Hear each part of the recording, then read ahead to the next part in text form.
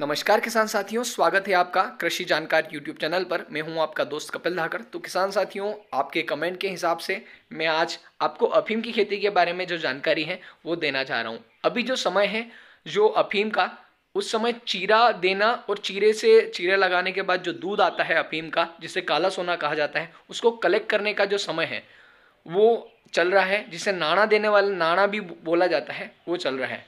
तो मैं, हमारे रियावन में तो बहुत गिने चुने हैं, बहुत ही कम पट्टे हैं तो मैं अपने पड़ोसी गाँव, ग्राम नवेली में आया हूँ। यहाँ पर मेरे टीचर हैं, कमलेश जी पाटीदार, आपके यहाँ पर दस आरी के आसपास का जो अफीम का पट्टा है।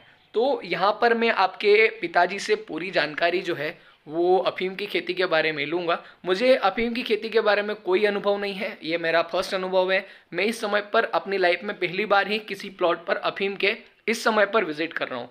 तो किसान भाइयों, वीडियो कैसा लगता है? वीडियो के कमेंट में ज़रूर बताइए। वीडियो पसंद आता है तो वीडियो को लाइक करिए। अभी तक अगर आपने चैनल को सब्सक्राइब नहीं किया है तो अभी सब्सक्राइब कर लें, क्योंकि खेतीबाड़ी से जुड़ी हुई बहुत सारी जो जानकारियाँ हैं, हम आपके लिए चैनल के माध्यम से लेकर आते रहते हैं।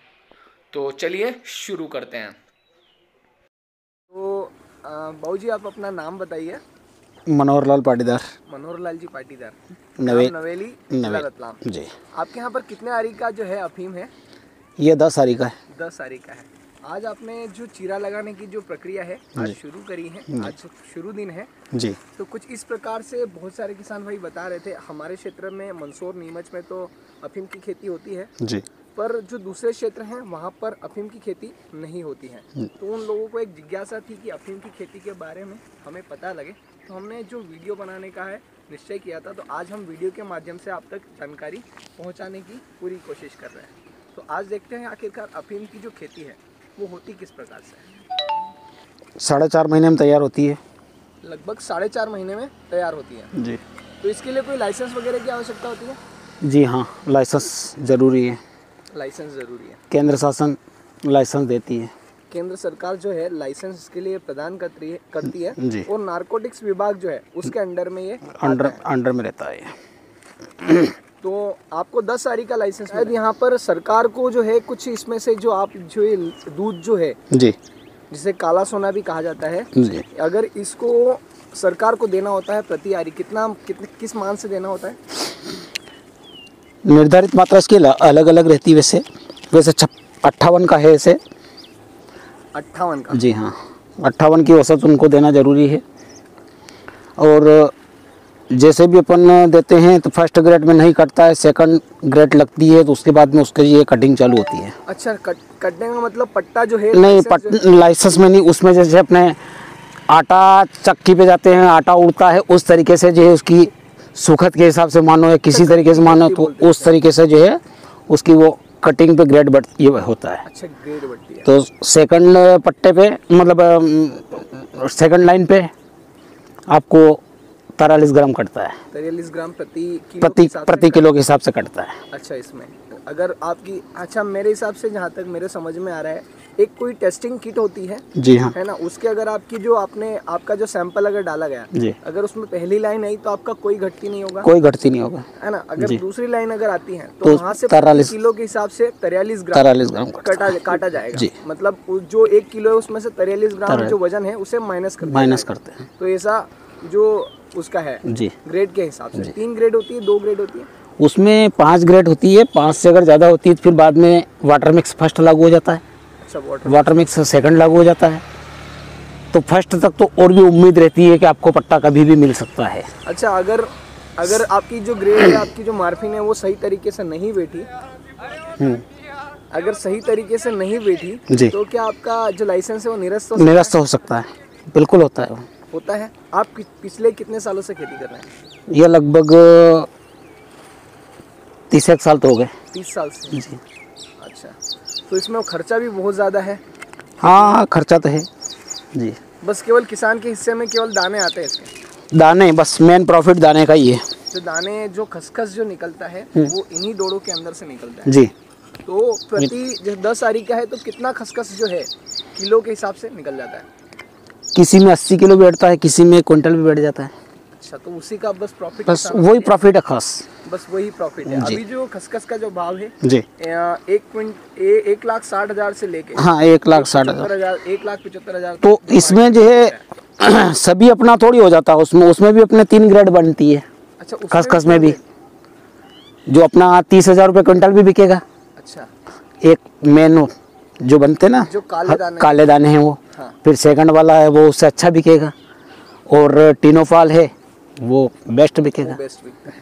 तो तीनों पल की क्वांटिटी ज़्यादा निकलती है या कम निकलती है? वो तो उस हिसाब से कम ही वैसे वैसे तो उसको जितना आपके रख रखाव रखेंगे उतना सही बैठेगा वो। अच्छा। उसमें इल्ली वगैरह का प्रकोप होता है तो पहले से जो स्प्रे करवा दो। इल्ली नहीं होना। है।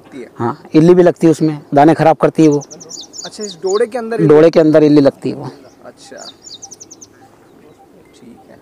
तो अभी कितने समय के लिए और चलेगा जो अभी ये चीरा इसको चीरा लगाना हाँ, दूध है ये ये लगभग बीस एक दिन के बीस से पच्चीस दिन चलता है। 20 से पच्चीस दिन जी। चलता है। जी। तो किसान भाइयों मैं आपको दिखा देता हूँ किस। प्रकार से जो है आगे आप वीडियो में देखिए किस प्रकार से चीरा लगाया जाता है और किस प्रकार से जो दूध है वो पौधे से मतलब जो डोड़ा है उसके ऊपर चीरा लगाने के बाद आ, कल दिन में आपने चीरा लगाया था। कल लगाया था। आ, कल दिन में हम्म। ग्यारह से तीन बजे के बीच में आपने चीरा लगाया था और सुबह सुबह इसे कलेक्ट किया जाता है। एक इंस्ट्रूमेंट होता है। इस इंस्ट्रूमेंट की सहायता से जैसा कि आप वीडियो में देख पा रहे हैं कुछ इस प्रकार से। कुछ इस प्रकार से जो डोड़े को पकड़कर उसके ऊपर जो दूध है उसको कलेक्ट साफ़ करना भी ज़रूरी फिर है उसको साफ़ करना भी बहुत ज़्यादा ज़रूरी है अगर आप देख पा रहे होंगे। कुछ इस प्रकार का जो है ये बहुत ज़्यादा नशीला होता है। ये। कुछ इस प्रकार से इसको साफ़ करके कलेक्ट किया जाता है और इसका फिर वज़न किया जाता है। डेली का कलेक्शन होता है? अच्छा डेली का कलेक्शन होता है। जी। और डेली का कलेक्शन जो है गाँव का एक मुखिया घोषित होता है उसके वहाँ जाके अच्छा डेली की जाके पूरा हिसाब देना पूरा पड़ता हिसाब देना पड़ता है। दिन भर का कितना जो दूध है वो कलेक्ट किया। तो किसान भाइयों चीरा लगाने की जो प्रक्रिया आप वीडियो में आगे देख पा रहे होंगे। तो किसान साथियों कुछ इस प्रकार का जो दूध है चीरा लगाने के बाद डोड़े के ऊपर आता है। और ये एक हाथ में आप देख पा रहे हैं ये एक प्रकार का इंस्ट्रूमेंट है। इसके ऊपर चार धारियाँ थोड़ी धारियाँ होती है देखो आप देख पा रहे हो इस प्रकार से चीरा लगाया जाता है। और इन्हीं चीरों के माध्यम से जो दूध है, वो निकलता है। जो चीरा लगाने का जो समय है, वो 11 बजे से 3 बजे के बीच में आप चीरा लगाते हैं और सुबह सुबह साढ़े छः बजे से 10 बजे के आसपास आप जो ये चीरा जितने पौधों पर लगा रखा है, वहाँ से जो दूध है, वो कलेक्ट किया जाता है। ये एक प्रकार का औज़ार होता है, इससे कलेक्ट किया जाता है।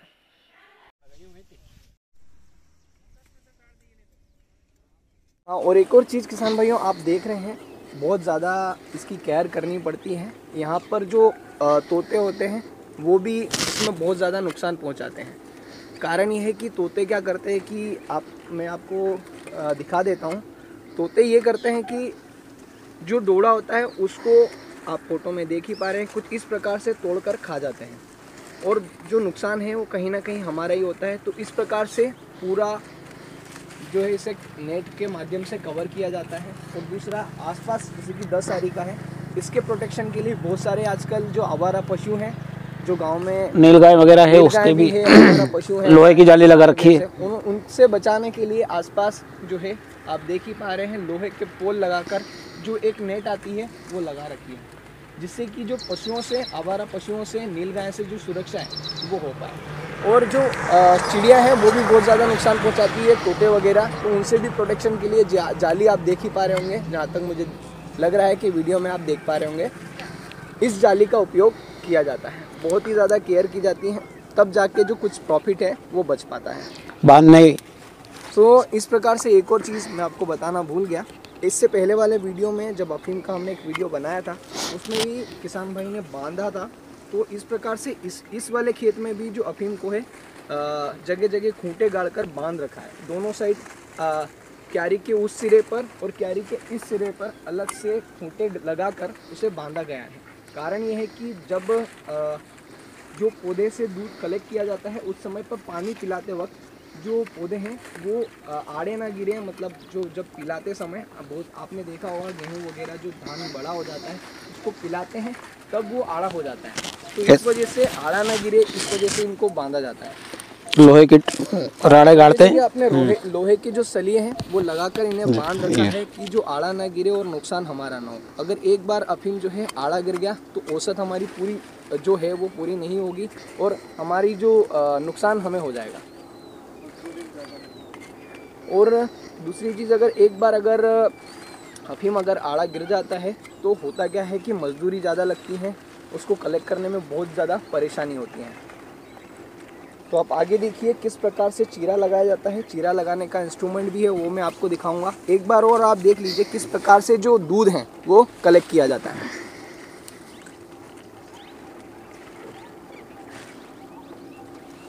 अच्छा इस इंस्ट्रूमेंट को क्या बोलते हैं? ये जो साथ में औज़ार है इसे? चरपला बोलते हैं हम इसको। इसे चरपला बोलते हैं। अच्छा ठीक है। चरपला भी बोल सकते हो कलेक्शन करने का भी बोल सकते हो। तो ये है पूरा प्लॉट अभी इस साइड से शुरुआत हुई है। धीरे धीरे लगाते लगाते उस ओर बढ़ेंगे। कितने चीरे लगा सकते हैं वैसे सबसे ज़्यादा से ज़्यादा? ये तो इसमें दूध पे है। दूध कितना देता है? एक एक डोड़ा दूध कितना देगा? अच्छा। एक बार दो बार तीन बार चार बार। अच्छा एक बार दो बार तीन बार। एक बार में भी खत्म हो सकता है हाँ, और चार बार के चार बार में भी खत्म हो सकता है। तो किसान साथियों मैं अब समझ सकता हूँ कि जो आपको अफीम की खेती के बारे में कुछ अनुभव हो गया होगा। मैं उन किसान भाइयों की बात कर रहा हूँ या फिर मेरे उन मित्रों की बात कर रहा हूँ जो वीडियो देखते हैं। पर उनके यहाँ पर अफीम की खेती नहीं होती है। कुछ मेरे प्रोफेशनल मित्र भी हैं, वो भी वीडियो देखते हैं। उनके अफीम के बारे में उनको कोई ज्ञान नहीं है। तो अफीम की जो खेती है, मैं आपको एक बात और बता देता हूँ। हमारे नीमच, मंदसौर और रतलाम क्षेत्र में बहुतायत से होती है। इसके लिए सरकार आपको एक लाइसेंस या पट्टा जारी करती है। उस पट्टे के आधार पर ही आप खेती कर सकते हैं। अगर मैं चाह लूँ कि मैं अफीम की खेती करूँ तो ये मेरे लिए पॉसिबल नहीं है। अगर अगर आपके पास पट्टा है, तभी आप इसकी खेती कर सकते हैं। तो आपके यहाँ पर दस आरी के आसपास का पट्टा है और दस आरी मतलब दस हज़ार स्क्वायर फीट के लगभग होगा। दस हज़ार स्क्वायर फीट एरिया में आपने अफीम की जो खेती है, वो वो कर रखी है। तो अफीम का जो दूध है, जिसे मैं काला सोना जो कह रहा हूँ ब्लैक गोल्ड उसका जो उपयोग है, बहुत सारी जो असाध्य बीमारियाँ हैं कैंसर वगैरह, इन बीमारियों का जो इलाज है, जो दवाइयाँ इनकी बनती हैं उन दवाइयों को बनाने में जो अफीम का जो दूध है, इसका उपयोग किया जाता है। सरकार हमसे खरीदती है, किलो के मान से खरीदती है। प्रति आरी कुछ फिक्स होता है, जैसे कि दस आरी का पट्टा है तो दस आरी के हिसाब से सरकार द्वारा कुछ मानदेय फिक्स कर रखा है। उसके हिसाब से जो सरकार आपसे जो दूध है, वो क्रय करती है। और इसके लिए स्पेशल गोदाम बनते हैं। एक समय समय दिया जाता है, उस समय पे आप, जाकर आपको जो दूध है, वो गोदाम पर जमा कराना जा, जमा कराना पड़ता है। उसकी टेस्टिंग भी होती है और उसके बाद आपको अगले साल के लिए पट्टा मिलता है। अगर आपको वीडियो अच्छा लगा है तो वीडियो को लाइक करिए और साथ किसान भैया तक तो ज़रूर शेयर करिए। तो किसान भाइयों, अगर अगर अभी तक आपने चैनल को सब्सक्राइब नहीं किया है तो चैनल को आप अभी सब्सक्राइब कर लें, क्योंकि खेती से जुड़ी हुई बहुत सारी ऐसी जानकारियाँ हम आपके लिए लेकर आते हैं, जो आपके लिए भविष्य में बहुत फ़ायदा कर सकती है। जय जवान, जय किसान, धन्यवाद।